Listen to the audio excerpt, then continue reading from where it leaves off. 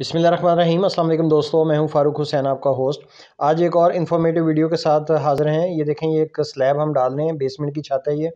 ये 1100 square feet area है।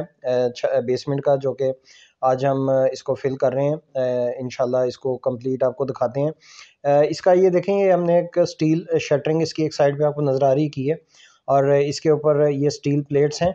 और ये येलो कलर के जो है, ये आपको टेप नज़र आ रही है। ये टेप इसलिए लगाई जाती है ताकि इसके अंदर जो मोटर है, वो लीकेज वगैरह ना हो।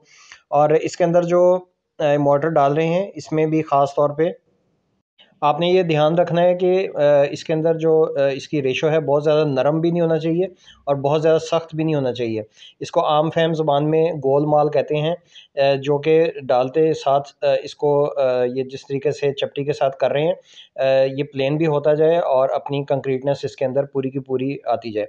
ये छः इंच स्लैब डाल दें। ये देखें, इसके अंदर ये कुछ बीम है। ये इसमें छः सूत्र का सरिया इतफाक़ का इस्तेमाल किया है और हजवेरी बिल्डर जो है, वो हमेशा सिक्सटी ग्रेड डिफॉर्म शेप ये आपको स्टील नज़र आ रहा है, वो हम इस्तेमाल करते हैं। और ये स्टेयर है इसकी बेसमेंट की, ये इसके साथ ही इसको भी फिल हो जाएँगी।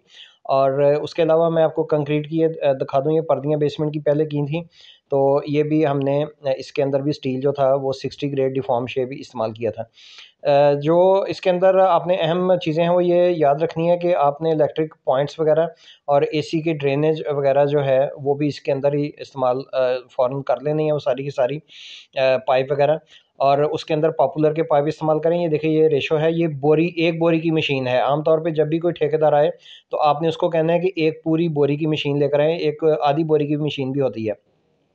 इसके अंदर एक बोरी पूरी डलेगी जो सीमेंट की होती है, और इसी तरीके से एक ये रेडी जो है, ये रेत की, जिस तरीके से ये डाल रहे हैं भाई, और दो रेडियाँ जो है वो बजरी की तो इस, ये रेशो, एक, दो, चार की रेशो हो जाएगी।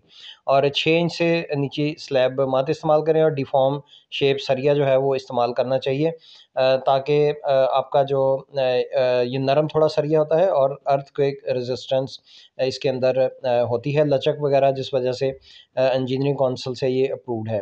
तो ये ये देखें, ये कैंडा बनाया हुआ है हमने ताकि इसको डिफरेंट जगह पे मार के देखते हैं, ताकि रेशो बिल्कुल एक जैसी डले इसमें।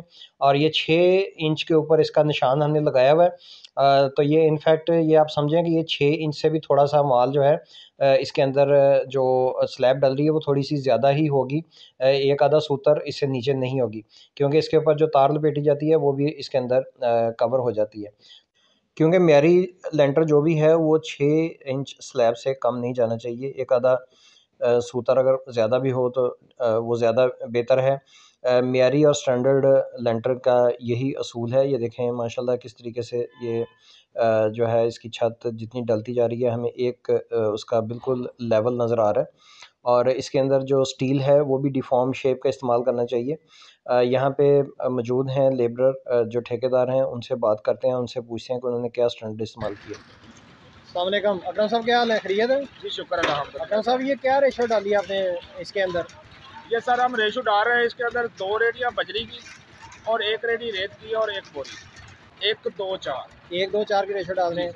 यानी कि एक सीमेंट और दो इसमें रेत गई और चार बजरी और ये स्लैब कितनी भर रहे हैं?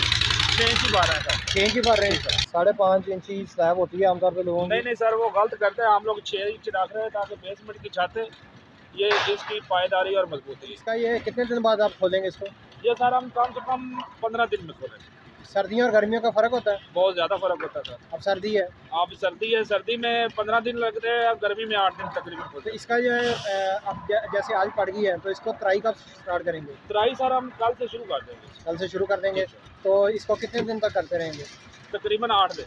आठ दिन करते रहेंगे। उससे ये कि मज़बूत होता जाएगा। दिन ब दिन इसकी कंक्रीटनेस ज़्यादा देखें दोस्तों ये लेबर इनकी लगी हुई है और यहाँ पे जो स्टील है अच्छा ये बताएँ मुझे अकरम साहब इसमें जो स्टील आपने इस्तेमाल किया है इसका बॉक्स कितना रखा है?